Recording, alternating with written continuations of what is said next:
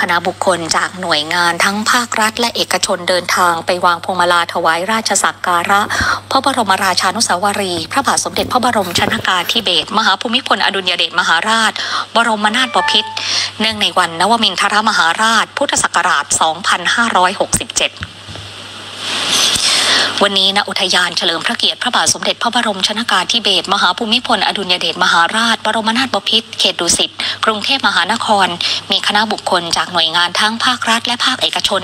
นำพวงมาลาไปถวายราชสักการะพระบรมราชานุสาวรีย์พระบาทสมเด็จพระบรมชนากาธิเบศรมหาภูมิพลอดุลยเดชมหาราช บรมนาถบพิตรเนื่องในวันคล้ายวันสวรรคต 13 ตุลาคม 2567 หรือวันนวมินทรมหาราช เพื่อน้อมรำลึกถึงพระมหากรุณาธิคุณอาทิ คณะองคมนตรี นางสาวแพทองทานชินวัตรนายกรัฐมนตรี พร้อมคณะรัฐมนตรีพลเอกเขมชาติปัตนุที่ปรึกษาสำนักงานปลัดกระทรวงกลาโหม เป็นผู้แทนปลัดกระทรวงกลาโหมพลเอกจิรศักดิ์พลลังสริตผู้ทรงคุณวุฒิพิเศษกองบัญชาการกองทัพไทย เป็นผู้แทนผู้บัญชาการทหารสูงสุดพลเอกสุรพัฒน์เวทกาวี ผู้ทรงคุณวุฒิพิเศษกองทัพบบก เป็นผู้แทนผู้บัญชาการทหารบกพลเรือเอกโสพลรัชตาพิรักษ์ผู้ทรงคุณวุฒิพิเศษกองทัพเรือ เป็นผู้แทนผู้บัญชาการทหารเรือพลอากาศเอกสุชาติเทพรักษ์ผู้ทรงคุณวุฒิพิเศษกองทัพอากาศ เป็นผู้แทนผู้บัญชาการทหารอากาศพลตำรวจโทอัครเดชพิมลศรีผู้ช่วยผู้บัญชาการตำรวจแห่งชาติ เป็นผู้แทนผู้บัญชาการตำรวจแห่งชาติสำนักงานคณะกรรมการพิเศษเพื่อประสานงานโครงการอันเนื่องมาจากพระราชดำริ กระทรวงมหาดไทย หน่วยงานราชการในพระองค์สำนักงานมูลนิธิชัยพัฒนา บริษัทบุญรอดบิวเวอรี่จำกัด บริษัทกลุ่มเซ็นทรัลจำกัด กรมอุทยานแห่งชาติสัตว์ป่าและพันธุ์พืช และมูลนิธิช่วยคนปัญญาอ่อนแห่งประเทศไทยในพระบรมราชินูปถัมภ์วันที่ 14 ตุลาคม 2567ประสบกนิกรจำนวนมากเข้ากราบถวายบังคมพระบรมรูปรัชกาลที่ 9 นาปราสาทพระเทพบิดรในพระบรมมหาราชวัง เนื่องในวันนวมินทรมหาราชพุทธศักราช 2567 วันนวมินทรมหาราชตรงกับวันที่ 13 ตุลาคมของทุกปี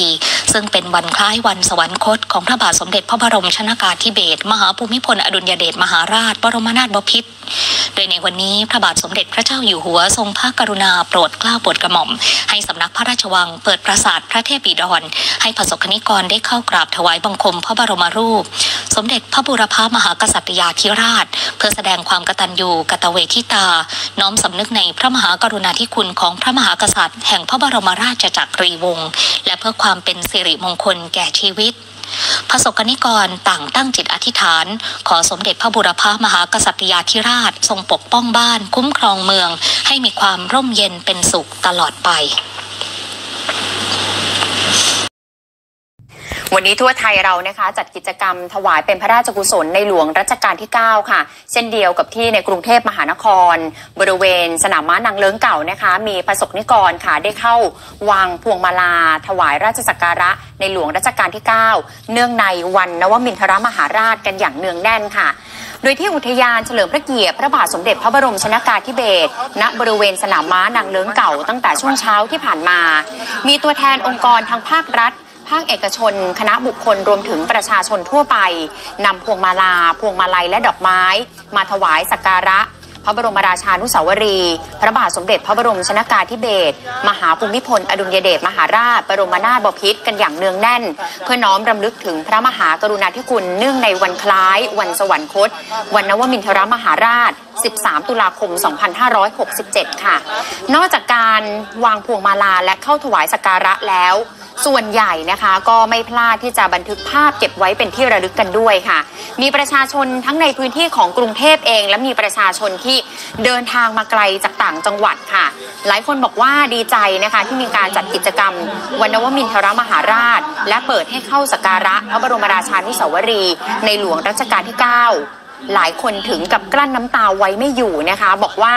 แม้พระองค์ท่านสวรรคตมาหลายปีแล้ว ยังคงรักและคิดถึงพระองค์ตลอด ได้มาทำบุญร่วมทำกิจกรรมถวายเป็นพระราชกุศลทุกปีค่ะ พร้อมกับขอพรให้พระองค์ช่วยคุ้มครองตนเองและครอบครัว สัญญาว่าจะเป็นคนดีทำคุณประโยชน์ให้กับประเทศชาติอย่างเต็มกำลังเท่าที่จะทำได้ ฟังเสียงนะคะ ประชาชนจากนครราชสีมาและที่เพชรบูรณ์กันค่ะ คิดถึงตลอดเวลาค่ะ ตอนที่สวรรคตก็มา 25 ครั้ง ถวายร่มตกนะแล้วมาทีนี้สามปีเนี้ยนึกถึงพระองค์ท่านตลอดรักพระองค์ท่านนี่เป็นปีที่สามแล้วเนี่ย ที่มาเนี่ยผ่านไปหลายปีแล้วเหมือนกันเนอะใช่ในในมุมของเรา ถึงจะผ่านไปหลายปีแล้วก็ยังก็ยังอยู่ในใจตลอด รักพระองค์ท่านมาทุกตลอดเลยค่ะ ก็คือยังระลึกถึงพระองค์ท่านตลอด ค่ะ ที่บ้านก็มีรูปท่านค่ะ ถ้าจะบอกอะไรได้ถึงพระองค์ท่านอยากจะบอกอะไรบ้างคะบอกว่าให้เพื่อนให้ท่านอยู่บนฟ้า อย่างมีความสุขและมองราษฎรของท่านที่อยู่ในพื้นแผ่นดินไทย ให้ร่มเย็นเป็นสุขค่ะ สำหรับปีนี้เนื่องในโอกาสวันนวมินทรมหาราชพุทธศักราช 2567 ทางสำนักพระราชวังค่ะได้แจ้งกำหนดการวางพวงมาลาสำหรับวันนี้ให้วางพวงมาลาและถวายสักการะช่วงแรกนะคะ ตั้งแต่ 6 นาฬิกาถึงเวลา 12 นาฬิกา และในช่วงที่ 2 ตั้งแต่เวลา 17 นาฬิกาถึง 24 นาฬิกา ส่วนวันพรุ่งนี้ค่ะ ก็สามารถเข้าถวายสักการะได้เช่นกันตั้งแต่เวลา 8 นาฬิกาจนถึงเวลา 21 นาฬิกาค่ะ